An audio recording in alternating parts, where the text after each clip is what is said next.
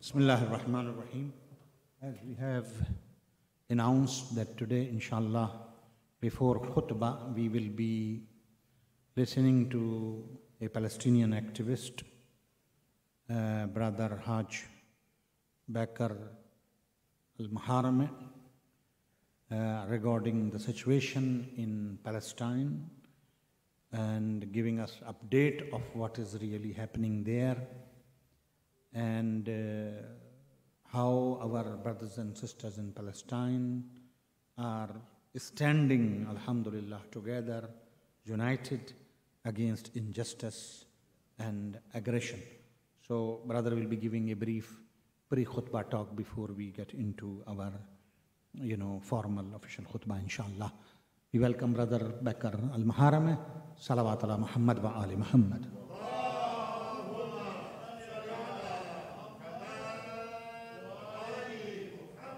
اللهم صل على سيدنا محمد وعلى آل سيدنا محمد Uh, dear brother and sister, Assalamu alaikum wa rahmatullahi wa barakatuh. I uh, shukran to everybody uh, and our brothers and our ulama, our scholars for giving us the opportunity to update you for what's exactly happening in the land of Masjid al-Aqsa and in Palestine in general.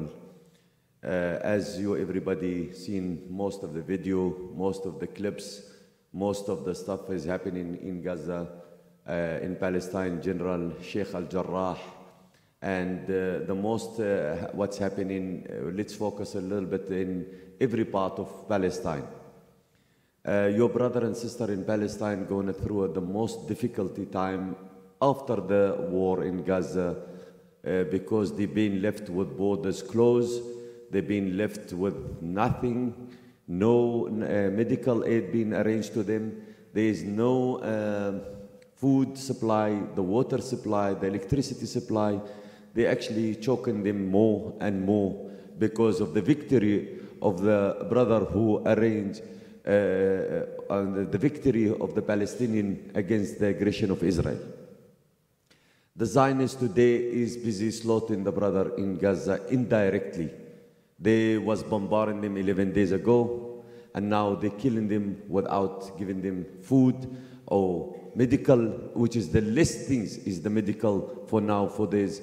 Almost 3,900 people being injury, bad injury.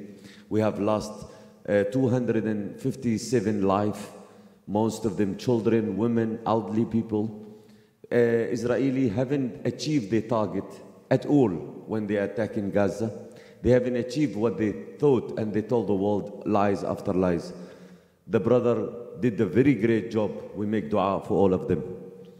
And uh, I just thank you again to whoever contribute to the brother in Gaza uh, amongst uh, uh, Hezbollah in south of Beirut, uh, uh, Sheikh Hassan Nasrullah. Allah be uh, uh, with him and give him the full heart support. Our brother in Iran who supported the Gaza with the missiles and all what they need. Uh, I appeal to all the brothers to give me a one second to say, we are standing for Palestine and we've been marching for Palestine. I am a Palestinian. I've been in South Africa and uh, I came and to explain what is exactly happening. Your brother and sister in Palestine busy going, dying alive. That's what you all need to know. And this is our duty as a brother to stand up and say, enough, it is enough. It's our duty as a brother and sister to say, you know what, not lips talk. We have an opportunity. I came and afforded it to Maulana last week, and uh, I'm sure he will address the public of what we are brought to his attention. We march, we fast, we did of all of our palliative for the Palestinian, but did we make any change inside Palestine? I will say zero. Zero inside Palestine, not out of Palestine. I can address them, address brother and sister in this uh, masjid. Uh, uh, we call, uh, last week I was following closely to the news, 7 billion US dollar being collected from the French people. French people, not French government, the population of Fran- France. 7 billion US dollar for the Zionist people after the missiles has been hit from Gaza. In UK, 9 billion pound being collected from the, uh, uh, from the British to the Zionist people, also for the same cause. What have we done for the Palestinian? What have we achieved to the Palestinian beside marching, beside walking in the street, beside fasting? It's all good deed. Thank you so much. We very much appreciate it. It make a difference. But what have we done exactly to those brother and sister? If I say what we done, I can say to all of you, zero. There was so many people who was out there collecting money. There's some people collecting march on the marches, on the radio, on the stations, everywhere. But where is the money? Haven't received the borders closure uh, of between Gaza and Egypt. Uh, Israel closed the border between uh, Gaza and the Israel side. Jordanian government closed the border. There's absolutely nothing. And uh, with all your dua, with all your marches today, Allah has granted us amazing opportunity. And I appeal to everybody in the masjid here with Maulana and everybody. We have an opportunity in our hand. We got the permission to travel to Gaza and carry the medical in our hand, arrange with the embassy of Palestine in Pretoria, with the Egyptian government, with the Red Cross of Egypt, to open for us the border as a South African to enter this and that's what a big victory for South African people to take this honor to Gaza, hand on hand. We arrange for doctors, paramedics, uh, we arrange uh, for a solid volunteer, we arrange for um, any medical field to come forward to us. Our address, our offices on, on, the, uh, on the banner. And uh, I say again to all my brother, Palestinian brother, we've been for decade going through this hardship for 72 years. And for 72 years, there is nothing has changed except who are really from Syria come forward to send missiles to Gaza from Iran and from Hezbollah. And uh, Allah mercy and souls of uh, our brother Qasim Sulaimani, who was fully hearted of Palestine, who did also a lot. We acknowledge and we know that. I'm not standing in the member here in the masjid talking differently. We're all brother. Our cause for our Palestinian, for our Masjid al-Aqsa.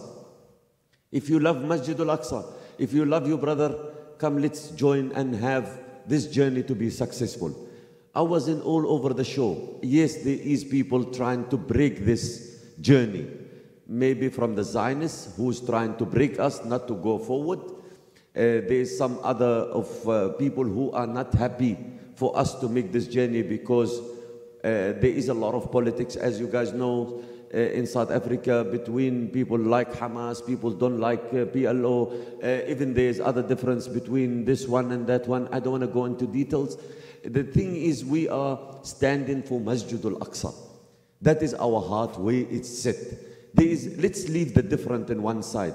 Let's leave the whole aggression and argument amongst each other in one side. We talk in Palestine. We talk in Masjid al-Aqsa.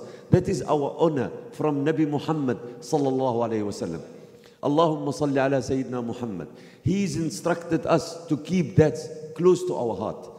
And I'm going to raise something very important today. Uh, I have a question to everybody in this masjid. Does, does anybody know why do you love Palestine? Why do you love Al-Aqsa? Why your heart is there? There is a war in Iraq. There is a war in Syria. There is a war in Yemen. There is a war in Libya. There is a war in Kashmir, in Myanmar. Why, when it comes to Palestine, it's totally different? Does anyone knows about why? I'm going to tell my brother why. Maybe our ulama know why, but uh, I just gonna say it why. Nabi Muhammad sallallahu alayhi wasallam, he was doing one of the khutbah, and he said in the khutbah, يأتي يوم على أمتي يقاتلون في سبيل الله ويقتلون. I will say it in Arabic, honor for Rasulullah, and I will translate it in English. Rasulullah sallallahu said, there is one of the day of my ummah, they're going to fight for the sake of Allah and they're going to be killed. Uh, the people in the masjid ask him, Amin qilla ya Muhammad? He said, it's because little. He said, in qutha'un ka is sayl. There's millions and millions, but they are useless. He said, Which people, Ya Rasulullah? What kind of people is those?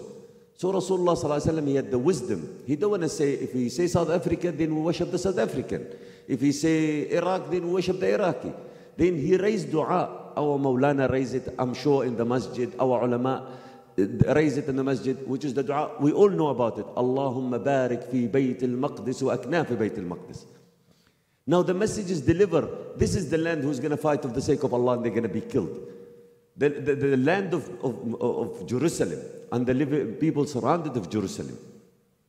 So Nabi Jibreel come to Rasulullah because Rasulullah he knew he, he see the nur he knew exactly what's going to happen to our to his ummah. So he start to uh, shed the tears. Nabi Jibreel come to Rasulullah he said, Ya Muhammad, inna Allah yuqri'uka salam. Oh my beloved Muhammad, Allah uh, peace upon you, saying to you, he will leave it in every heart of Muslim, born and non-born. So today, when it comes to Palestine, all of us we get heated. All of us we get upset and what's happening to our brother and sister in Palestine. I, I say today, look at the Zionists, what they're doing to your brother. I, I don't need to come to this member and explain to the brother what is happening. You all, I'm sure, 99% people know what exactly happening to your brother and sister. We granted with opportunity, like I said earlier on. We have an amazing opportunity. We have a permission with document, legitimate document. We will be going to Egypt, inshallah, next week, Monday, not this Monday, the Monday following which is going to be the 7th. Uh, arrange with the Egyptian government, arrange with the, with, the, with the Red Cross of Egypt, and we will be taking the medical from the South African brother to the Palestinian and uh, to Gaza. They're going to open the border with delegation. We have also some delegate from the embassy. They will be traveling with us. I appeal from this member to all our brother and sister. Can let's stop lips. Let's be in actions. We have an amazing opportunity. There's many people out there. They're not happy with this opportunity. It would become a lipstock. Let's come to, to, together, shoulder to shoulder, make this journey happen. If there's any doctor, paramedics, psychology, medical field, media, please come forward. Our door is open. Our offices is open. We're collecting passport. The deadline of the passport is going to be on Monday. That's the last day, Monday evening. We're closing for the passport. Tuesday has to be traveled to the uh, Palestinian embassy, arranged with the Egyptian government. The following week, we'll be traveling. I appeal to all of you to take this message to every brother and sister out there. Palestine, for 72 years, slaughtering. We lost millions of life and nobody doing uh, anything about it. One missile hit the Zionists, almost 25 billion US dollar being contributed and collect for them. And when it comes to our brother and sister in Palestine, we're not asking for food. We're not asking for building uh, uh, the, the Gaza. We're asking for simple things to collect medical. Is that too much to ask for? Medical. I appeal to everybody, to all our brothers here, to come forward. If you know any doctors, any nurses, any psychology, anyone when to do something, it's one week, whole full week in Gaza. We have a few doctors on board. They will be actually doing for one week surgery and operation in Gaza. If there's anyone you know, please bring him forward. If you can assist us for this journey to be successful, please do that. If don't leave your brother and sister away from your dua. Dua is power, very powerful. And we always raise dua. Uh, fasting is also power, but now we have an opportunity. Let's do uh, once in our life actions. I say thank you so much to all of you for giving me this opportunity. Shukran to our ulama and our scholars who give me, uh, give us an attention to bring to the brother and sister. I, I appeal to everyone to come forward. Palestine need you, and Palestine war haven't finished, guys. Palestine war started, started from 19, from 72 years, and now with the last war of Gaza, the war is very bad. And after the war stopped, stopped ceasefire, no more fire, but we will fire your stomach. We'll fire the light over your head. We'll fire you from, we'll fire you from no getting medicine. We'll fight. That is another war. Let's focus on that. I, I appeal to all of you. Jazakumullah. Thank you so much for giving me this opportunity. I, today I'm standing here. I was in, in 786 radio. I was in the Voice of the Cape. Our address is in 95 Ruth Road in Rylands. We are everywhere. Please help your brother, not me as Baker standing in your masjid. That got nothing to do with me. It's for your brother inside there. There so was so much collections money for Palestine. There was so much marches in for Palestine. Some people who uh, uh, actually trying to attack us for taking this medical because of the difference. I appeal to every and each one to come forward. Palestine is in a very bad situation as you think if the war's finished. And yes, the brother achieve a victory. The brother have achieved achieve victory for all the Muslims around the world. For every Muslim, say La ilaha illallah Muhammad Rasulullah, the Palestinian raise their flags right up for those Muslim brothers. Don't, we're not going to leave them behind. We have an opportunity. Let's make this journey successful. I say shukran, jazakumullah fi kulli khair for give me this valuable, honored opportunity. And if there's any message, writing message you want to write to the Palestinian, please bring it forward. We will take it from your hand to the hand. It's going to be in a board in Gaza. We'll be reading it, We'll be broadcasted from Gaza Live to South Africa. Shukran, jazakumullah fi kulli khair. I shukran Maulana for giving me this opportunity, our brother and sister hearing my voice and give us a chance to come address you for what's exactly happening. Shukran, wassalamu alaikum wa rahmatullahi wa barakatuh.